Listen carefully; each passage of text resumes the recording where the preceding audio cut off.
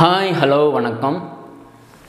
இந்த வீடியோவில் ஒரு முக்கியமான ஒரு கான்செப்டை பற்றி நம்ம டிஸ்கஸ் பண்ணுவோம். ஆஃப் லைஃப் அதாவது அரை ஆயுட்காலம் என்பார்கள். இதை மொத்த இந்த அரை ஆயுட்காலம் இந்த ஆஃப் லைஃப்பை நம்ம ஏன் படிக்கிறோம்? எதுக்காக படிக்கிறோம்? அப்படிங்கிற அந்த விஷயம் உங்களுக்கு கண்டிப்பாக தெரிஞ்சே ஆகணும். இதுக்கு முன்னாடி வீடியோவில் நம்ம வந்து ஒரு முக்கியமான ஒரு ஈக்குவேஷனை வந்து சால்வ் பண்ணியிருப்போம். Law of radio active decay அப்படின்னு சொல்லிட்டு N is equal to N naught e power minus lambda t சரி இந்த ஈக்குவேஷன் எதை பற்றி தான் பேசுது? எதை பற்றி தான் டிஸ்கஸ் பண்ணுது? அப்படின்னு நீங்கள் கேட்டிங்கன்னா இது வந்து ரொம்ப ரொம்ப முக்கியமான ஈக்குவேஷன் ஏன் முக்கியமான ஈக்குவேஷன்னா இப்போது ஃபார் எக்ஸாம்பிள் உங்களுக்கு புரிகிற மாதிரி சொல்கிறேன் ஒரு பொருளை ஃபார் எக்ஸாம்பிள் இந்த ஏதோ ஒரு பொருளை பல நூறு வருஷத்துக்கு முன்னாடி நம்ம வந்து புதைச்சிட்டோம். இப்போ கீழடியெல்லாம் தோண்டி பார்க்குறாங்க இல்லையா? பல கீழடியை தோண்டி பார்க்கும்போது பல பொருட்களெல்லாம் வெளியே எடுக்கிறாங்க. அப்படி எடுக்கும்போது அந்த பொருளினுடைய வயதை வந்து இந்த ஈக்குவேஷனை வச்சு கண்டுபிடிக்கலாம். எப்படி? ஃபார் எக்ஸாம்பிள் எண்ணுங்கிறது வந்து தோண்டி எடுக்கும்போது அந்த மொமெண்ட்டில் இருக்கிற நியூக்ளியஸினுடைய நம்பர் என் எண்ணாட்டங்கிறது வந்து அதாவது அதை புதைப்பதற்கு முன்னால் அதாவது இன்னும் சயின்டிஃபிக்காக சொன்ன சொல்லணும்னா டிகே ஆகிறதுக்கு முன்னாடி அதாவது சிதைவடைவதற்கு முன்னால் இருந்தால் நியூக்ளியஸினுடைய நம்பர் என் நாட் லேம்டாங்கிறது வந்து ஒரு கான்ஸ்டன்ட் அதுதான் நம்ம இந்த காணொலியில் கண்டுபிடிக்க போகிறோம் லேம்டா நமக்கு தெரியாது. டீங்கிறது வந்து வயசு. புதைத்து எவ்வளோ வருடங்கள் ஆச்சு? அப்படிங்கிறது தான் டி இப்போது நமக்கு வந்து எண்ணும் தெரியும் எண்ணாட்டும் தெரியும். எண்ணங்கிறது வந்து என்னது? அந்த தோண்டி எடுக்கும்போது அந்த மொமெண்ட்டில் இருக்கிற நியூக்ளியஸ் எண்ணு எண்ணாட் வந்து புதைக்கிறதுக்கு முன்னாடி அதாவது சிதைவடைவதற்கு முன்னால் இருந்த நியூக்ளியஸினுடைய நம்பர் எண்ணாட் இதை எப்படி கண்டுபிடிப்பாங்க? இப்போ ஃபார் எக்ஸாம்பிள் ஒரு ஆலமர கட்டை எடுக்கிறாங்க கீழடியில். சும்மா ஃபார் எக்ஸாம்பிளுக்காக எடுத்து என்ன பண்ணுவாங்க? இந்த மாதிரி ஒரு கட்டை எடுக்கிறாங்க. எடுத்து ஒரு சின்ன பீஸாக வெட்டுவாங்க. ஒரு சென்டிமீட்டர்ஸ் க்யூபாக வெட்டுவாங்க.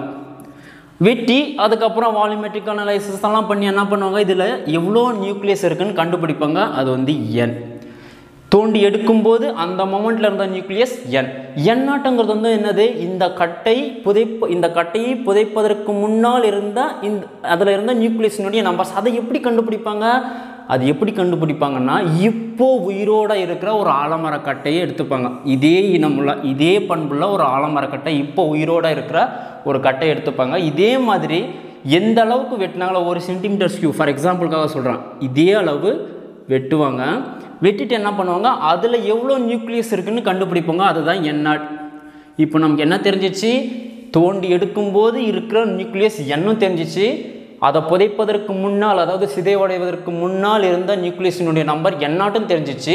நமக்கு லேம்டா தெரியணும். இந்த ஒருவேளை இந்த லேம்டா இந்த கான்ஸ்டண்ட்டை நம்ம கண்டுபிடிச்சிட்டோன்னு வச்சுங்களேன் இந்த மூணு விஷயம் தெரிஞ்சிட்டா தெரியாத ஒரு விஷயம். டைம் எவ்வளோ வயசாச்சு புதைச்சி எவ்வளோ வய வருஷம் ஆச்சு அப்படிங்கிற அந்த விஷயத்தை ஈஸியாக கண்டுபிடிச்சிடலாம். அப்போது இந்த வீடியோனுடைய முக்கிய நோக்கம் என்ன? இதுவும் தெரியும் இதுவும் ஈஸியாக கண்டுபிடிச்சிடலாம்.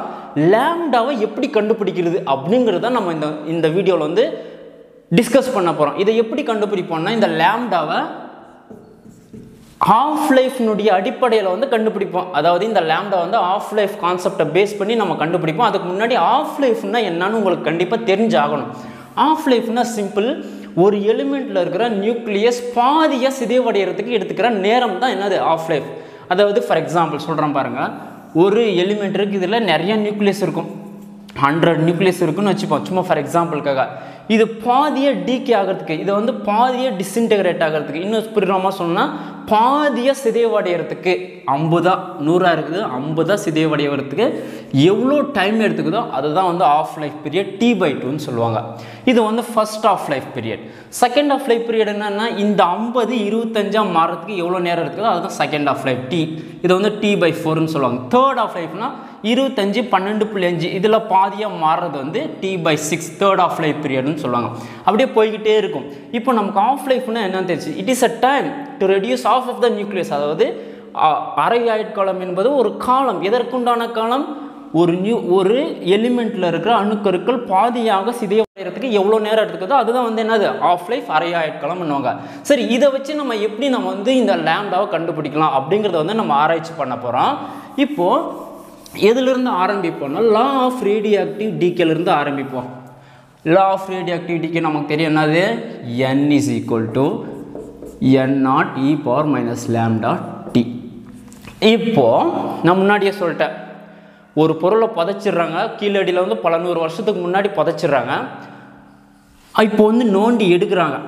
நோண்டி எடுக்கும்போது அந்த மொமெண்ட்டில் இருக்கிற நியூக்ளியஸ் என் அதாவது புதைக்கிறதுக்கு முன்னாடி சிதைவடைவதற்கு முன்னால் இருந்த நியூக்ளியஸ் என் நாட் புதைச்சதுக்கப்புறம் என்ன ஆகும் ஆஃப் லைஃப்னுடைய அடிப்படையில் அரை ஆயுட்காலத்தினுடைய அடிப்படையில் என்ன ஆகும் டிஸ்இன்டகிரேட் ஆகும். சிதைவடையும். எப்படி சிதைவடையும்?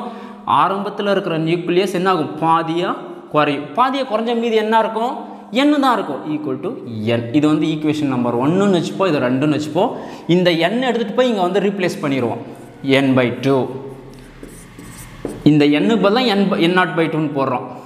N naught e power minus lambda t N naught N naught cancel ஆயிரும். இது என்ன இருக்கும்? One by two is equal to e power minus lambda t இப்போது இதுக்கப்புறம் எவ்ரி திங் இஸ் மேத்தமேட்டிக்ஸ் தான். இதை வந்து ரெசிப்ரோக்கலாக எடுப்போம். ரெண்டு one by e power minus lambda t இது மேலே போச்சுன்னா என்ன ஆகும் ப்ளஸ் லேம்டா டியாக மாறிடும். E two is equal to e power lambda t இப்போது பார்த்தீங்கன்னா இதுக்கப்புறம் நான் முன்னாடி சொன்ன மாதிரி எல்லாமே மேக்ஸ் தான். இது ரெண்டு பக்கமும் லாக் எடுப்போம். Ln two is equal to ln e power lambda t அதாவது ரெண்டு பக்கமும் லாக் எடுப்போம்.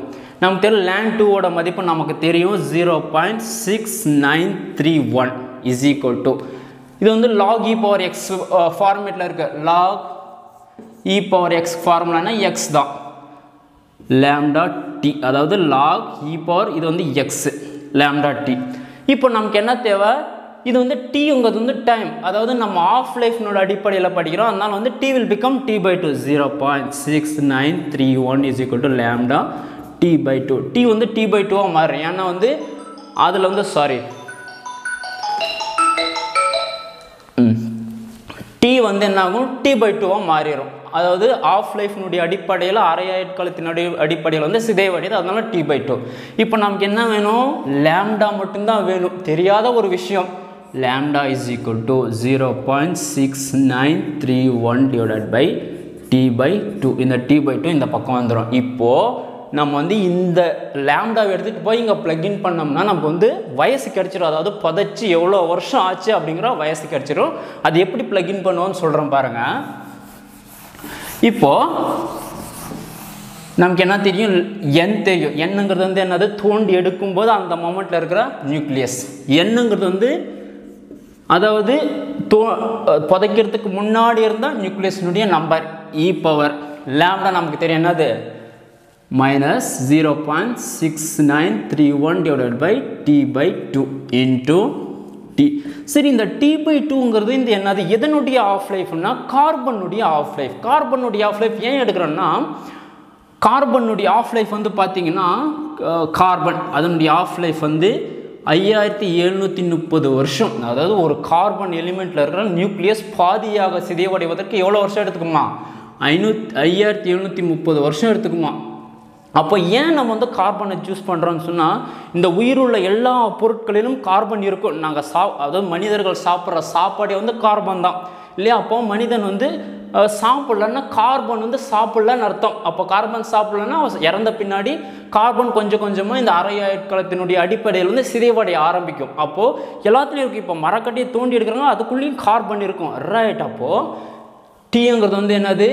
கார்பனுடைய அரை ஆட்களம் இந்த ஈக்குவேஷன் எப்படி மாறும்னு பாருங்கள் N is equal to N naught e power minus zero point six nine three one divide by ஐயாயிரத்தி எழுநூற்றி முப்பது வருஷம் இன்டூ டி இப்போ நமக்கு என்ன தெரிஞ்சிச்சு? என்னும் தெரியும் என்னாட்டும் தெரியும் லேம்டாவும் தெரிஞ்சிச்சு டி மட்டும் தெரில இந்த ஈக்குவேஷன் அப்படியே மேத்தமேட்டிக்கல் ஸ்டெப்ஸ் தான்.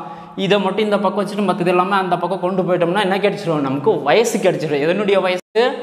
அதாவது ஒரு பொருளை தோ ஒரு பொருளை வந்து புதைச்சிருவாங்க. பல நூறு வருஷம் கரைச்சி எடுப்பாங்க. எந் இந்த இந்த பொருளை புதைச்சி எவ்வளோ வருஷம் ஆச்சு அப்படின்னு சொல்லிட்டு இந்த ஈக்குவேஷனை வச்சு நம்ம வந்து ஈஸியாக வி கேன் ஈஸிலி ஃபைன் இந்த கிளாஸ் பிடிச்சிருந்ததுன்னா லைக் பண்ணுங்கள் உங்கள் ஃப்ரெண்ட்ஸுக்கு ஷேர் பண்ணுங்கள் தேங்க்யூ வெல்கம்